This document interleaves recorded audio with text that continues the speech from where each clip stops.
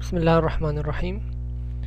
تعرفنا بالأسبوع الأول على على واجهات المستخدم الرسومية تعرفنا على مقدمة نظرية حكينا فيها على كافة خصائص الواجهات حكينا على كافة الكائنات على الفروقات الأساسية بالتوابع الخاصة بكل كائن من الكائنات وشفنا أهم الأدوات اللي بتيحها الأداة جايد شفنا شريط الأدوات ال toolbar بالإضافة للكائنات ال object آه، شفنا كمان شريط الأدوات اللي بأسفل الأداة GUIDE كيف بتيح الحصول على خاصية tag لكل عنصر.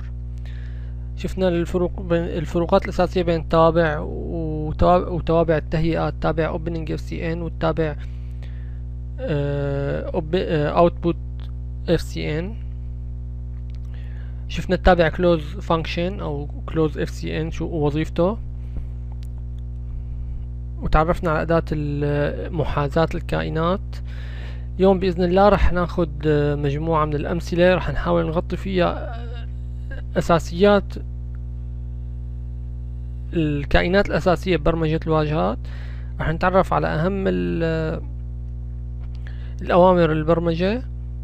رح ناخد كله من خلال مثال بسيط رح نبلش فيه بشكل صغير رح راح نطوره. خلونا بداية آه، أول خطوة نبرمج آه، زر الإغلاق. مثل ما ذكرنا في عنا تابع اسمه close request function.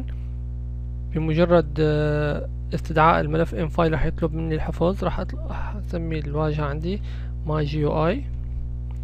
راح يفتح لي ملف ال m file الخاص بالواجهة. مثل ما ذكرنا التابع close request function وظيفته الاغلاق فراح أضيف لهذا التابع الأسطر البرمجية الموضحة بالأسبوع الأول يلي هي مبينة هون. راح أعمل نسخ لصق وراح نشوف كيف ممكن ننفذها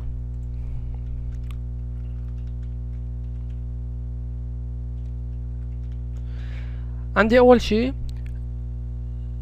آه، الخاصية الأولى من خلال تابع جيت عم نحصل على ال position الخاص بالواجهة اللي عندي.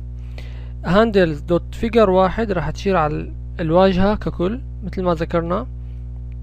عندي لك الواجهة tag ممكن أعرفه من أسفل الأداة GUIDE الزاوية السفلية على اليسار tag the currently selected object tag. ال object اللي مختاره هلا أنا الواجهة ككل وبالتالي راح يطلع عندي ال tag تبع figure 1 أو ممكن property inspector عندي الخاصية tag figure 1 لو رجعت للملف M-file figure 1 من خلال question dialog مربع السؤال راح آه راح يظهر عندي آه مربع حوار راح يسألني هل ترغب بالإغلاق؟ فعندي خيارين yes أو no بحال اخترت no ف take no action ما راح يقوم بأي شيء. بحال اخترت yes راح يقوم بتنفيذ التابع delete اللي وظيفته إغلاق الواجهة.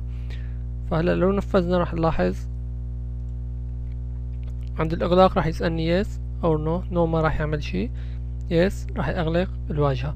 ممكن بطريقة مشابهة إنه برمج زر للإغلاق. سميه close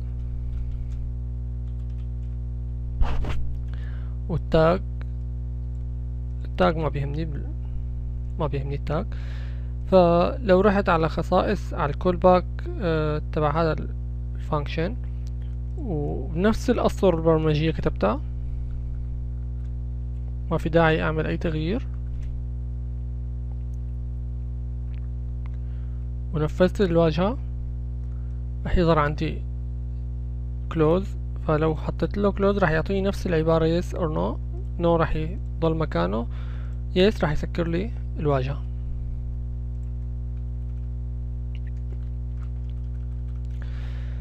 هلا خلونا نشوف كيف ممكن آه نق... آه نضيف صورة عن الواجهة. فلو حطيت بأعلى الواجهة عنصر axis ودخلت على التابع opening fcn لاحظ إنه مو ظاهر هون فمجرد بس على الايديتور go to عندي opening fcn راح أكتب الاسطر البرمجية. X map تساوي عندي التابع image read وظيفته قراءة الصورة. راح يطلب مني اسم الصورة. عندي الصورة محطوطة على نفس مسار حفظ البرنامج. من نوع JPG اسمها MATLAB راح أقول له إنه أظهر لي هي الصورة على ال axes. من خلال axes واحد. فلو دخلت على خصائص property inspector أو من خلال أحدد على كائن axes tag axes واحد axes واحد. image show image read راح تقرأ الصورة و image show راح تعرض الصورة X فاصلة map نلاحظ لو نفذت البرنامج. راح يظهر لي MATLAB for engineers مثل ما ذكرت الصورة هي بنفس مسار اللي حفظت عليه الملف M-file وملف figure اللي هو على سطح المكتب.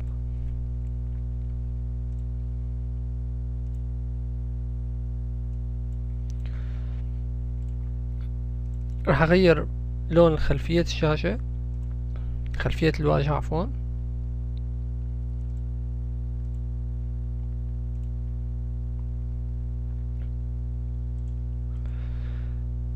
لك الخطوة الأولى راح أكتب برنامج بسيط لجمع عددين بعدين راح طور البرنامج خطوة بخطوة. راح أحتاج بهذا البرنامج لعنصرين edit text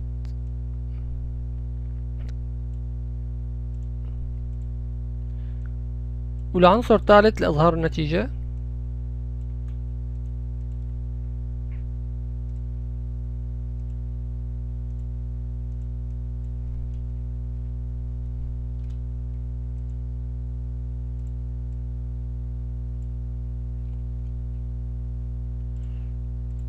راح أحط عنصر بوش بوتون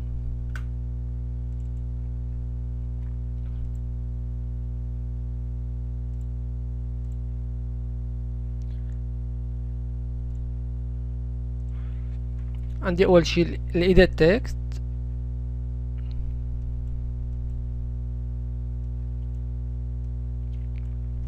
راح أعطيه ال tag enter first number عفوا string. وراح أعطيه ال tag x واحد.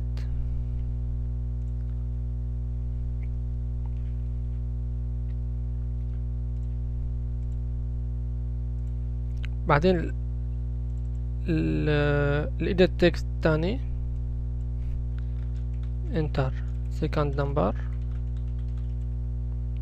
راح أعطيه tag x اثنين لاحظوا معي إنه لما بدي عم اختار اللون كمان اللون مسؤول عنه مصفوفة. red green blue فمجرد ما أختار اللون اللي بدي إياه راح يتم تغيير قيم الألوان بحيث تعطي اللون المطلوب أما العنصر بوش بوتوم اللي راح يكون مسؤول عن القيام بعملية الجمع راح أسميه صم التاج ما بيهمني.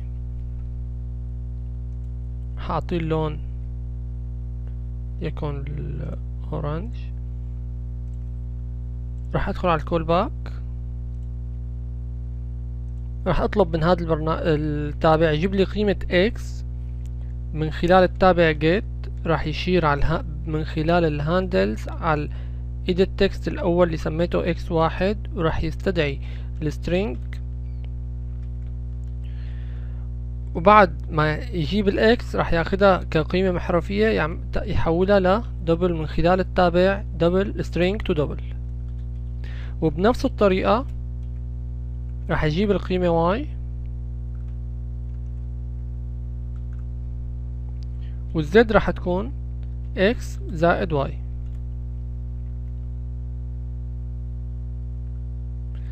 النتيجة بدي اسندها لل edit text التالت لتظهر هون.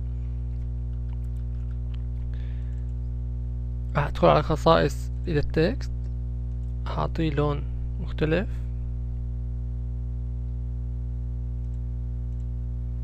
راح ال tag R اختصار وأروح أقول له result.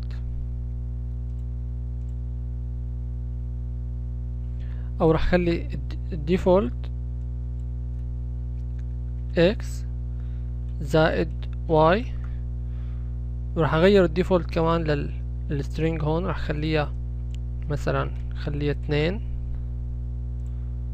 هون راح أخليها ثلاثة.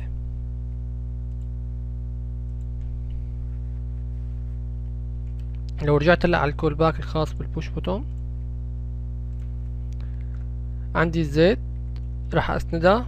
Handles dot R آه عندي الخاصية string. بدي أسند القيمة.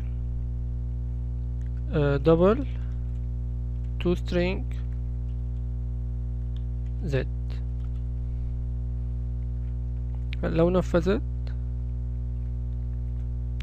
راح ياخد بال default اثنين مجموعهم مفترض هون يعطيني خمسة. اعطاني خطأ بالسطر مية وسبعة وتسعين لو كبست عليه. خطأ هون لنتأكد من ال string double to string z x زائد y لنتأكد من الخاصية tag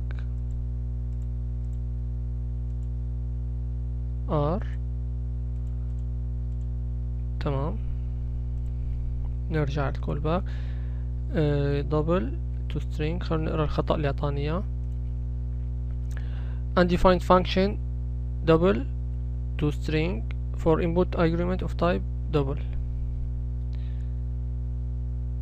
ما في مشكلة راح أرجع.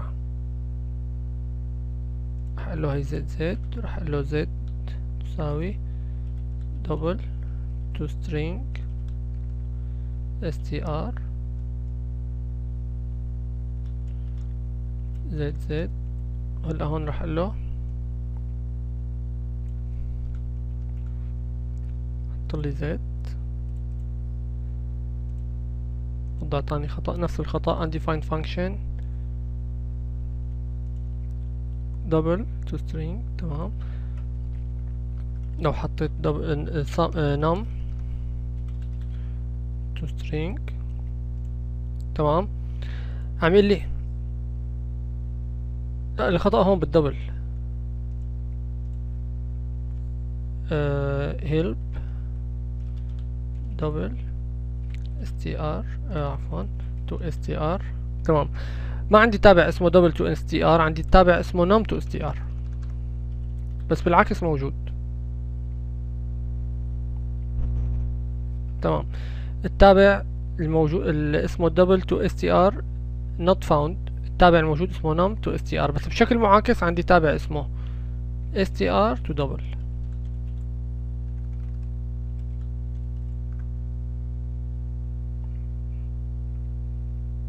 Str to double convert string to double precision value. نرجع على واجهتنا لو غيرت هلا القيم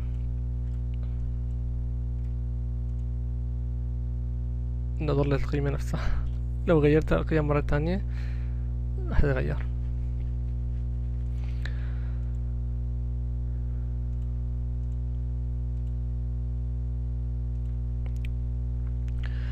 خلونا هلأ إن نضيف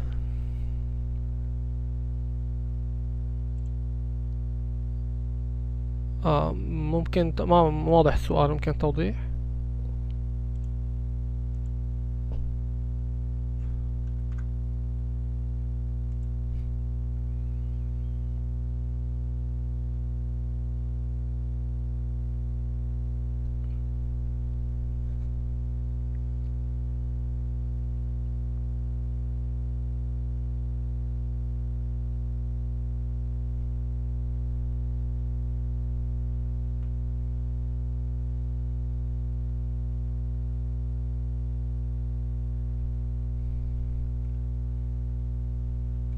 هلا اللي فهمته منك إنه نطبع زد فهيك راح يطلع لي.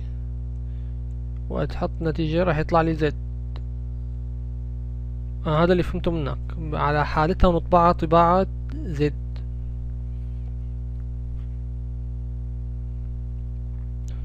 السؤال بس مو واضح.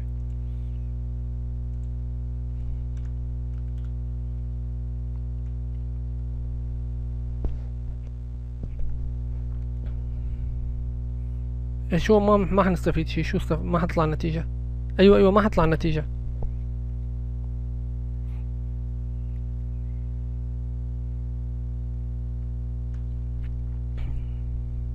طيب محمد راح أعطيك صلاحيات تعدل التعديل اللي, اللي عم تحكيه على الشاشة عندي لأنه ما ما فهمت عليك.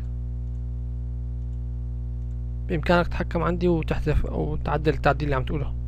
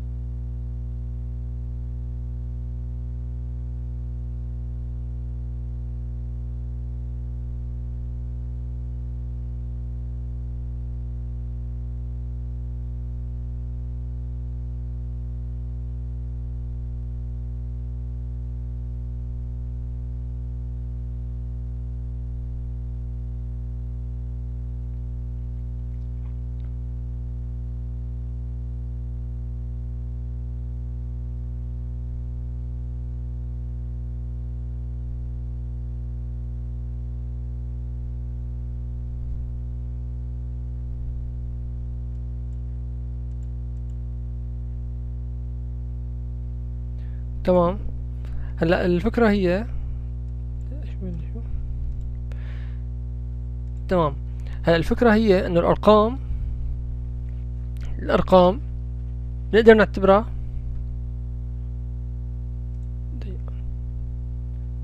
آه بدك تضيف شي تاني محمد؟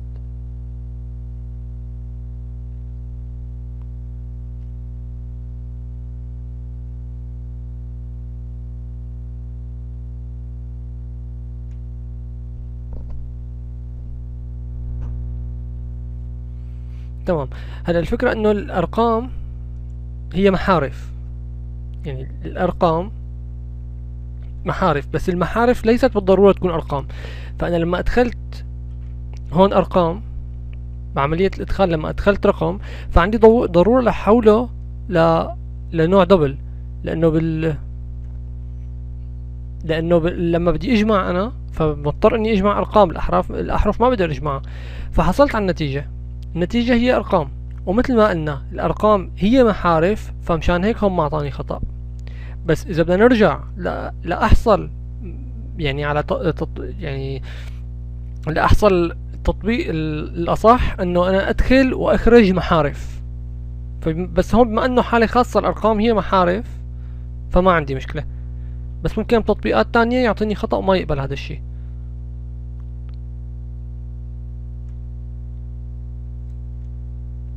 الأسئلة العامة ممكن إذا خارج آه، نطاق الموضوع بآخر الدرس بإذن الله. واضحة الفكرة؟ رح أتكررها الأرقام هي محارف بس المحارف مو بالضرورة تكون أرقام. ومشان هيك الحالة هي هلأ ما أعطى مشكلة بس ممكن بتطبيقات تانية يعطي مشكلة. في أي سؤال؟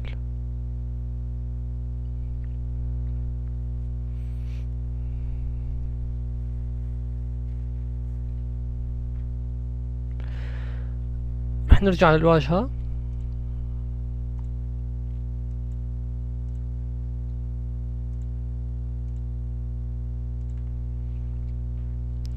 هلا راح نضيف لبرنامجنا.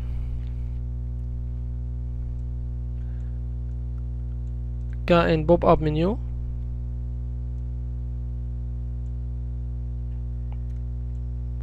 وظيفة هذا الكائن من خلاله راح نرسم ثلاث إشارات إشارة الجيب والتجيب وإشارة آه، التابع الاسي بحيث بيختار المستخدم الإشارة اللي بده إياها بيرسمها. sine cosine تابع الاسي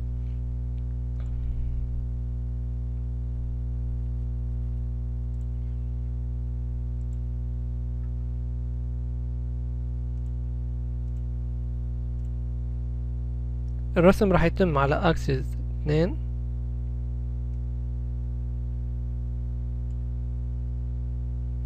راح يتم إظهار من خلال ال static text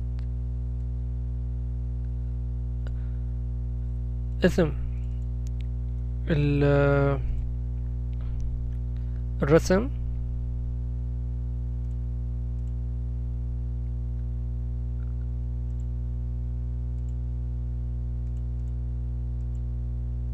حاعطيه static text اخلي قيمة default بدون أي شيء. وال التاج text.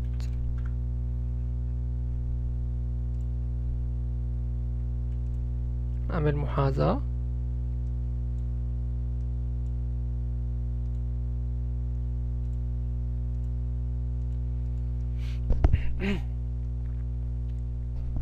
لما نلاحظ لو شغلت الواجهة.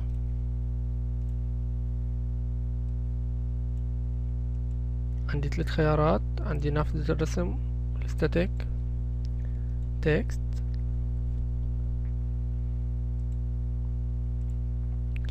هلا راح أروح على ال callback الخاص بال pop-up menu. وراح اكتب الأسطر التالية. عندي أول شي ال state. Get handles dot ال pop-up menu. ارجع أتأكد من الخاصية من الخاصية tag pop-up menu واحد. pop-up menu واحد. راح اخد ال value القيمة. وراح له switch state بناء على هاي ال state بال case واحد راح يكون مثل ما شفنا بالحالة الأولى. راح يكون عندي ال string عبارة عن نقاط وبالتالي ما في عندي أي شيء. بالحالة الأولى set handles دوت يلي عندي هو هون التكست له اكتب لي عليه على الخاص من خلال الخاصية string select your function.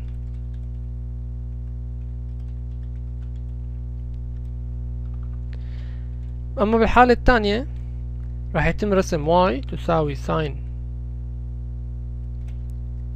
t. بالحالة الثالثة y تساوي cosine t. بالحالة الرابعة اللي هي التابع الأسي y تساوي exp t exp اختصار للتابع الأسي وعندي end عندي ال axes اللي راح أرسم عليها اللي هي بحالتي هلأ. ال axes اثنين. وآخر شي عندي plot t فاصلة y عندي نقطة آه، هي لازم حدد مجال ال t اللي ولتكن مثلا من الصفر لل pi اللي هي ثلاثة فاصلة أربعتاش على عشرة للاثنين نجمة pi هلأ بهالطريقة أول شي راح أحصل على القيمة اللي تم اختار اللي اختارها المستخدم من ال pop-up menu. حددت مجال ال t مجال الزمن. مجال مح يعني الرسم. من خلال switch راح أختار بحال آه، راح أختار آه، التابع. فممكن عندي بأول حالة ما تم اختيار التابع الحالة الثانية sine cosine. بعدين التابع الأسي. وآخر شي axes عندي راح أشير لل axes اثنين اللي يتم الرسم عليهم.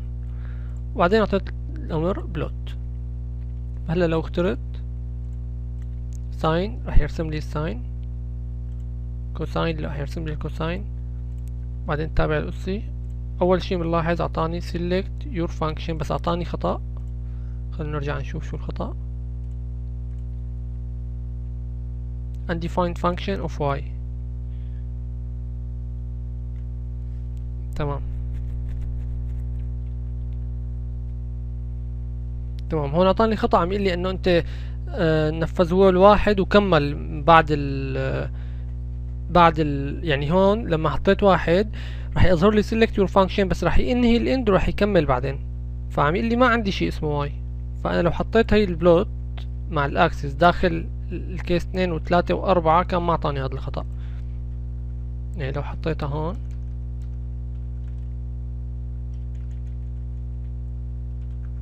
بس طبعا الحالة الأولى هي الحالة الأعم يعني بحط بآخر شي بحط plot وحدة. فهلا لو نفذتها ما راح يعطيني الخطأ. راح يعطيني select your function بدون ما يعطيني الخطأ.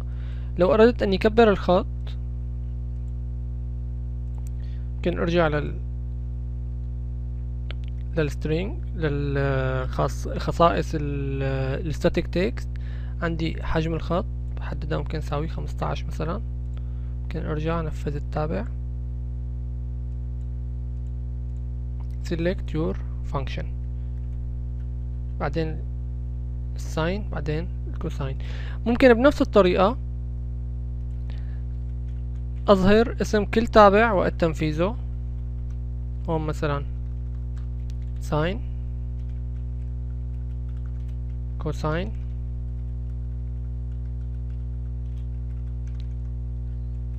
تابع الأسي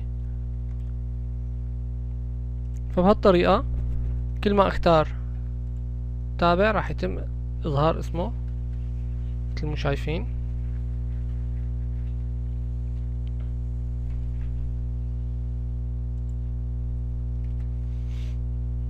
هلأ خلونا نضيف على برنامجنا إمكانية تح... المستخدم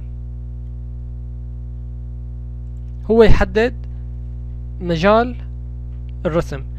مثل ما شفنا أنا حددت مجال الرسم هلأ بشكل افتراضي. t من الصفر بخطوة pi على عشرة للاثنين pi. هلأ لو أردت جعل المستخدم هو يحدد هي الخ... هذا المجال فعندي آه، أول شيء يحدد ال minimum وال maximum والخطوة راح أخذها آه، ال maximum على عشرة. فعندي ضرور آه، أول شيء بدي أستخدم راديو بوتوم هذا الراديو بوتوم وظيفته آه، يسأل المستخدم يحدد المجال أو ما يحدده. فراح سميه تحديد مثلا المجال.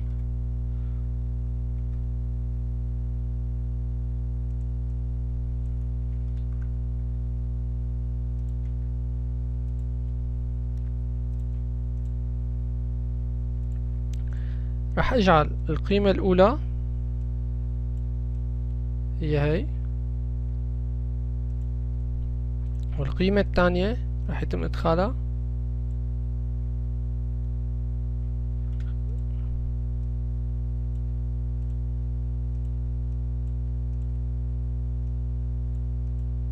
هدول قيمتين.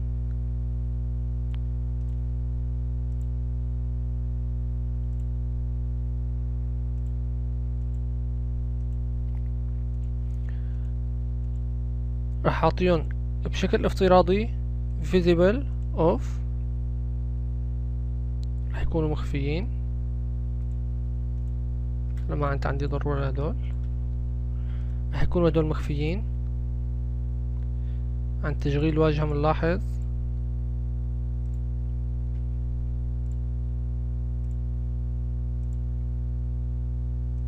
ما عندي غير تحديد الزمن راح تكون مفعلة ظاهرة إشارات. هلا راح أدخل على الكول باك الخاص. أه ملاحظة بس قبل. أه هلا هون نلاحظ إنه أه حطيتهم خليتهم مخفيين من خصائصهم. أنا ممكن بطريقة تانية.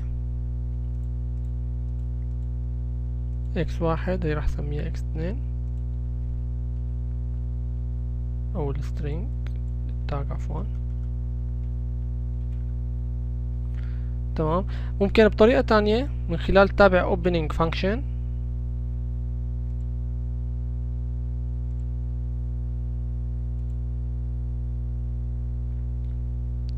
نضيف الأسطر set handles dot x واحد فاصلة visible off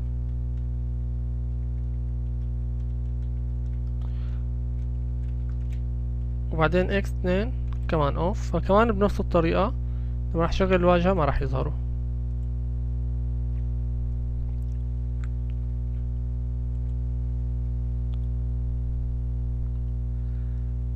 هذا لو دخلت على ال callback الخاص بال popup menu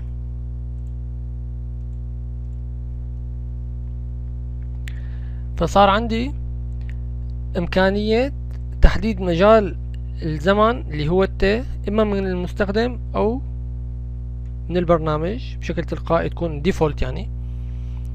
فراح أول خطوة state راح آخذ القيمة. بعدين راح آخذ القيمة راح اسندها متحول s اللي هي قيمة ال radio button handles dot radio button واحد radio button واحد. راح آخذ الخاصية value. راح أشوف قيمتها. بعد ما آخذ هالقيمة راح شوف إذا كانت واحد أو خلينا بالاول الصفر راح تكون مو مفعلة وبالتالي ال default t راح تكون على حالتها. أما else راح تكون ال s واحد. فعندي بدي اخذهم بقى قيمتين. القيمة الأولى هي بداية المجال ونهاية المجال يعني minimum value و maximum value اللي هي الاكس واحد والاكس اثنين. فراح آخذ القيمة x str to double. راح آخذ القيمة وأحولها من string to double. get handles dot x واحد فاصلة string.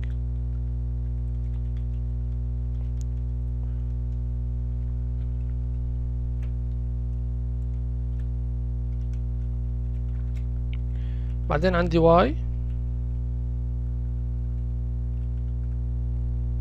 x y. هلا في احتمال المستخدم ما يدخل قيم يدخل محارف. فهذا الشيء راح يعطي خطأ. فمشان هيك راح اتفحص القيمة اللي تم إدخالها. فمن خلال التابع is none راح يتفحص هل هي قيمة ولا ما لها قيمة. فإذا ما لها قيمة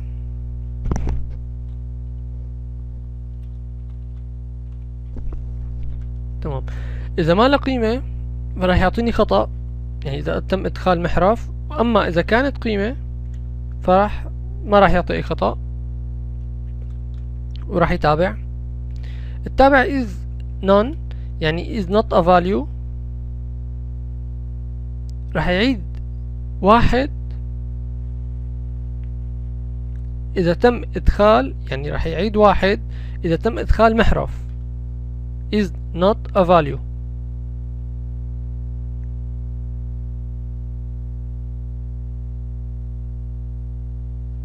Is not a value. راح يعيد واحد إذا تم إدخال محرف. وبالتالي إذا عاد واحد راح تساوي القيمة. يعني هذا الشرط راح يتحقق. وبالتالي set handles راح أطلب من المستخدم راح تظهر العبارة أدخل قيم رقمية. enter to limits. راح يتم إظهار عبارة enter to limits يعني أدخل قيم أدخل قيم رقمية. يعني ممكن كمان يكون مو مدخل قيم تكون فار يعني مو مدخل أي شيء فكمان نفس الحالة. يعني حتكون is not value. Else راح يكون مدخل قيمة راح ياخذ القيمة الأخيرة. يعني أو هون آه راح يبلش من القيمة الأولى مثلا.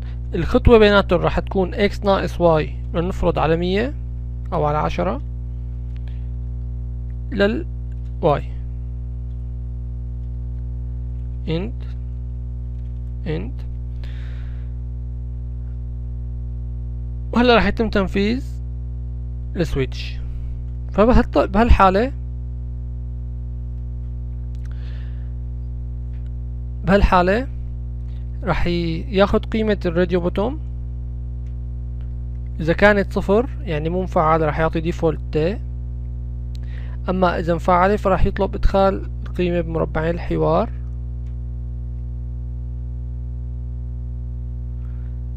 بعد ما يطلب القيمة راح يتفحص القيم اللي تم إدخالها. فإذا كانت قيم رقمية راح ياخد أصغر قيمة هي x الخطوة x ناقص y. أو هون آه، x ناقص y لا هون y ناقص x.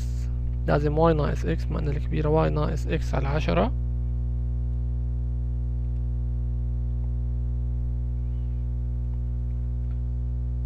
تمام على مية.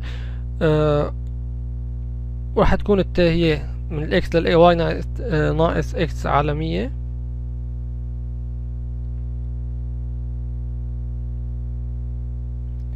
بس بهالح... بهالكتابة راح تكون الأولوية للقسمة مشان هيك أنا مضطر هون أحط عندي الأقواس.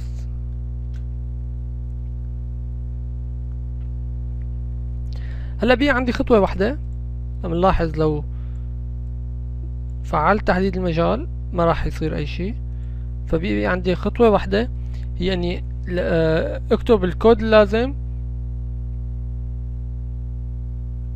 لإظهار الكائنات بال edit text. وقت فراح أقول له هون لما تتفعل set handles dot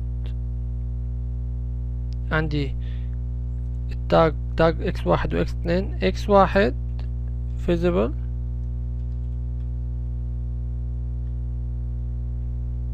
on.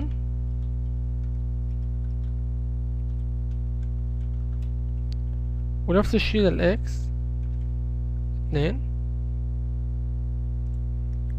فهلا لو قلت له تحديد المجال أظهر لي القيم فراح أختار sine.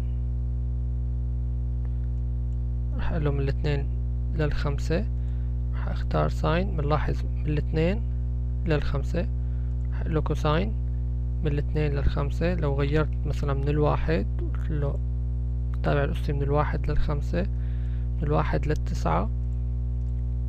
من الواحد للتسعة لو ما أدخلت قيمة enter to limits.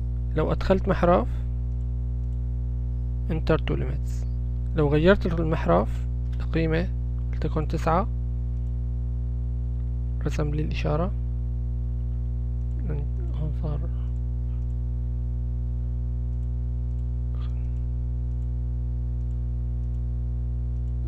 أوقف مع درسة افتكروا افتحوا البرنامج.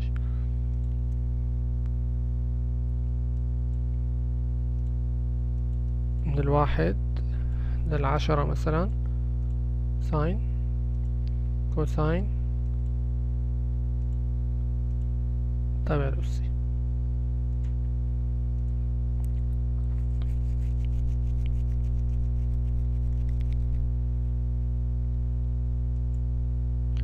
هلا تعلمنا هلا كيف ممكن برمج زر الإغلاق كيف ممكن نتعامل مع ال popup menu كيف ممكن نتعامل مع ال radio button كيف ممكن برمج أزرار ال push button.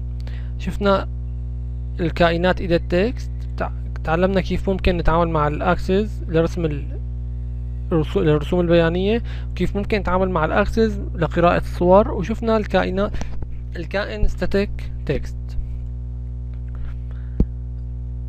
هاد كل شي بيتعلق بال بالجزء العملي لليوم. اتمنى تكونوا استفدتوا. آه، إذا في عندكم أي سؤال تفضلوا.